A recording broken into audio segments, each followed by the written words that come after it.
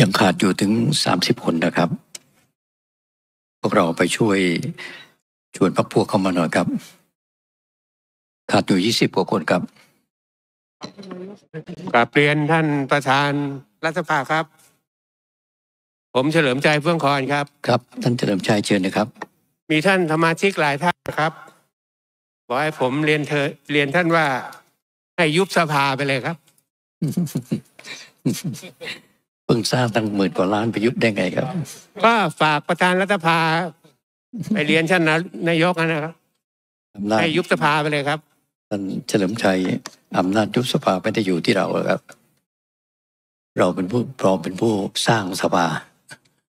อำนาจยุบไม่ได้อยู่ที่เรา อดทนนะครับ อดทน อันนี้เป็นปรากฏการณ์ธรรมดาของ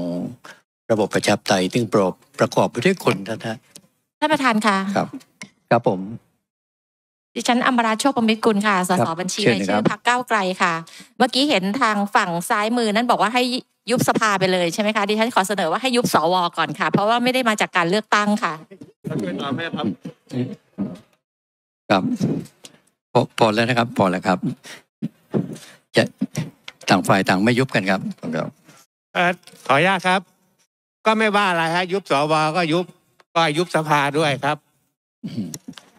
จริงๆท่านประธานค่ะครับอมราพอโชแล้ควปครับระมิตรพอกุลแล้วครับค่ะไม่ไม่ไม่ให้โตัวเถียงครับ โดยไม่จำเป็นครับอย่า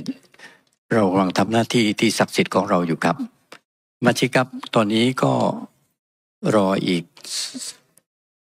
ถึงยี่สิบคนยี่สิบกว่าคนครับ สมาชิกเข้ามานะครับครับ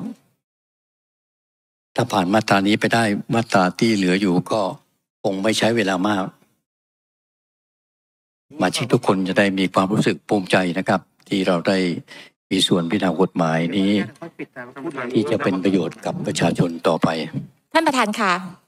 ท่านประธานค่ะอมราโชคประมิตรกุลค่ะ สสบัญชีรายชื่อพักเก้าวไกลครับผมเวลาที่ขาดประมาณห้าคนหกคนนี่นะคะ ให้เชิญผู้นำเหล่าทัพมาประชุมก็น่าจะดีค่ะ ผมว่า ไปเชิญเองดีไหมครับไปครับ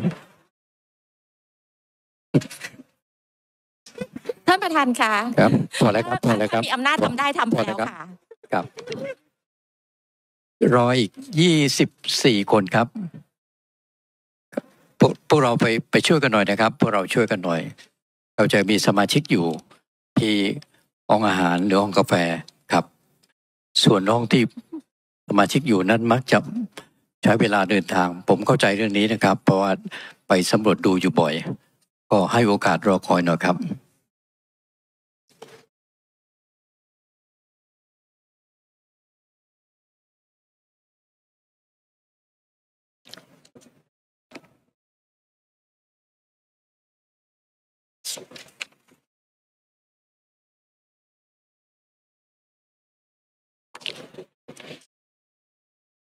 ครับรอคอยนิดนะครับ ตัวเลขจะดีขึ้นเรื่อยๆครับ